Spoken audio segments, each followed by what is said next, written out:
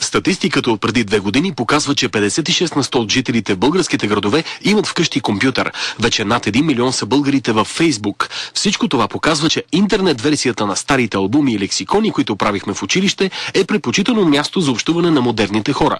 Ивайло Христов работи в компания, която разработва приложения за Фейсбук. Това са допълнителни програми, които можете да добавите в своя Фейсбук профил. Най-често в България Фейсбук се използва за намиране на стари познати и приятели.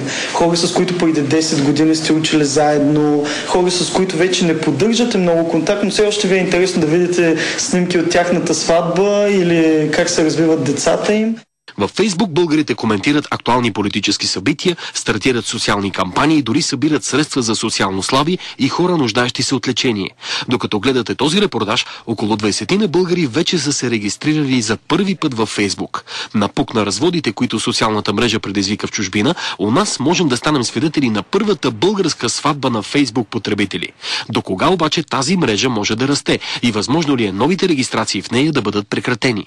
Докато а, компанията Facebook успява да се умее да намери средства за поддържане на цялата си инфраструктура, Facebook ще продължи да расте.